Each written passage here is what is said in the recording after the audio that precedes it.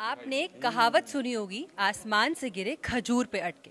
तो हम आसमान को हटा देते हैं और खजूर पे अटक जाते हैं। जी हाँ मैं बात कर रही हूँ फ़िल्म खजूर पे अटके की। और मेरे साथ इस वक्त आप देख सकते हैं, मेरे इधर भी स्टार कास्ट है फ़िल्म की और इधर भी स्टार कास्ट है। मेरे साथ है producer Amrit Sethia director Harsh Chhaya actor Manoj Pahwa और द विनय पाठक। सबसे पहले तो आपको पुरस्कार दिया जाएगा सबके नाम सही सही लेने के लिए। तो आप लोगों का बहुत स्वागत है लोकमत न्यूज़ में।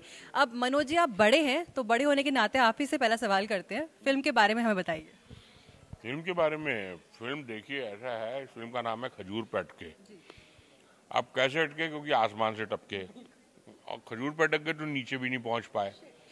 है ना? तो यही स्थिति है इस फ़िल्म में जो कैरेक्टर्स हैं, वो कुछ ऐसी ही स्थिति में फंस जाते हैं कि ना वो इधर के, ना उधर के और उसी से जो हादसे उत्पन्न होता है और लोगों को जो मज़ा आता है, वो बहुत सीरियसली फंसे हुए हैं। उनके लिए सिचुएशन बहुत ग्रेव है कि भाई बीमार है आईसीयू में है। लेकिन वो अब उसी तरह से बिहेव कर रहे हैं। लेकिन बाहर से देखने वाले को वो लगेगा जैसे कि क्या चल क्या रहा है? ये क्या हो क्या रहा है? बड़े भाई हैं हम्म, हाँ तो मैं बड़ा भाई हूँ और बड़ा भाई देखिए किस तरह से अपनी जिम्मेदारियाँ निभा रहा है अपने भाई को देखने के लिए आया है। जो और भाई लोग हैं जिनको नहीं भी आना है या आ सकते हैं नहीं आ सकते उनको भी ज़बरदस्ती बुला रहा है और डॉक्टर को भी बोल रहा है कि भाई जल्दी करो टाइम नहीं है। मतलब हाँ खत्म करो खेल। तो इस तरह की चीज़ें हैं बड़ी मज़ेदार फ़िल्म है।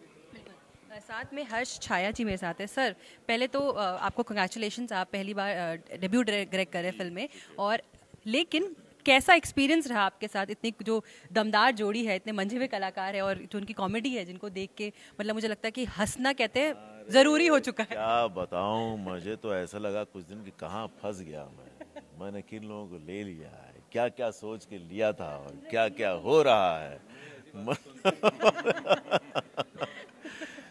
तो बड़ा अच्छा रहा। एक तो आ, आपके पास अगर मंझे हुए कलाकार हों जो अपना काम अच्छी तरह से जानते हैं तो आप कास्टिंग अगर सही हो तो आधे से ज़्यादा काम आपको वहीं ख़त्म हो जाता है।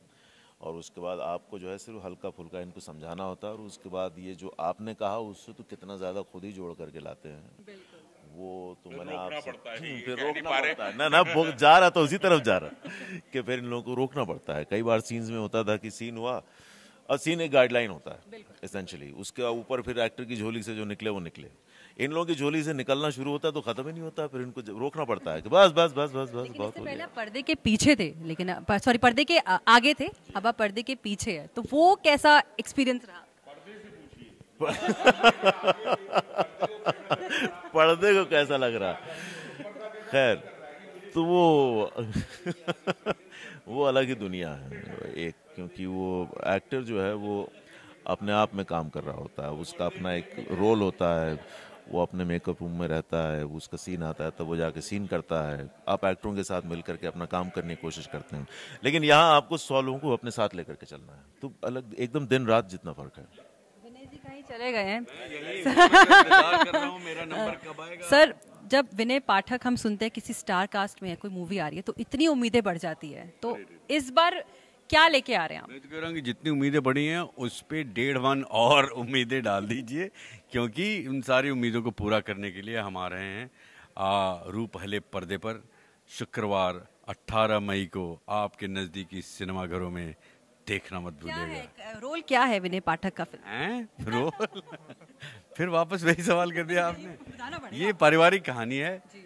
छोटा भाई मैं हूँ बड़े भाई पावा साहब हैं मजले भाई आईसीयू में हैं। और और देखने गए हाँ। और पूरे परिवार में खलबली मच गई है और हम सब दौड़े भागे आए हैं कि अरे यार मुंबई के आईसीयू में हमारा भाई पड़ा है लेकिन आईसीयू तो ठीक है लेकिन मुंबई है वाह तो सा, सारी फैमिली जो है मतलब दुख में इकट्ठा हो रही है लेकिन अंदर में जो एक्साइटमेंट मुंबई आने का है है ना? फैमिली ड्रामा है हाँ। सीरियस मैटर है लेकिन हम सब हंस सकते हैं। हंस सकते हैं बिल्कुल बिल्कुल।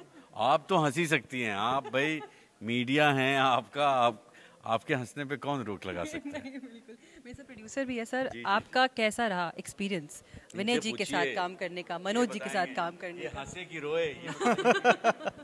मैं तो फुल टाइम हंसता ही रहता था। मूवी के पहले मूवी के बाद मूवी स्क्रीनिंग के बाद मूवी बहुत बहुत मज़ेदार बनी है। एक smile on the face movie है जहाँ आप देखेंगे परिवार वालों के साथ जाएँगे सब सब हंसेंगे सब मुस्कुराएँगे एंड uh, आगे और लोगों को कहेंगे कि ये मूवी ज़रूर जाके देखिए।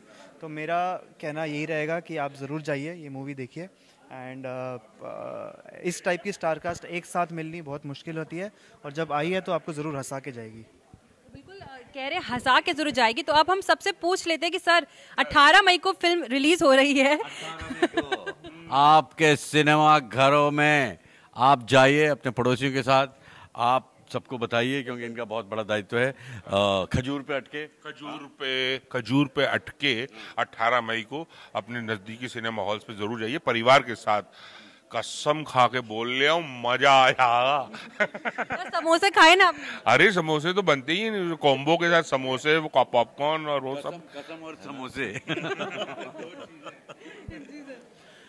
बस एक ही बात 18 मई अपने नज़दीकी पीवीआर सिनेमा घरों में जाकर के देखें फ़िल्म को और हाँ मतलब सभी फ़िल्में सभी जगह लगी हैं ऐसा नहीं है पीवीआर नहीं है आईनॉक्स भी है फेम एटलस भी पीवीआर भी है। खैर अपने घर के आसपास सिनेमा घरों में आपकी फ़िल्म आने वाली है जाकर के देखें 18 मई के बाद और बताएँ आपको कैसी लगी। आप सबको बहुत बहुत ऑल दी बेस्ट बहुत कॉन्ग्रेचुलेशन और उम्मीद करते हैं कि बॉक्स ऑफ़िस पर फ़िल्म धमाल मचाए। तो बिल्कुल 18 मई को देखने ना बोले। तो 18 मई को देखने ना भूले खजूर पे अटके। मेरे सहयोगी संजय के साथ Pratiksha Kukreti Lokmat news dot in Manoj Pahwa के साथ।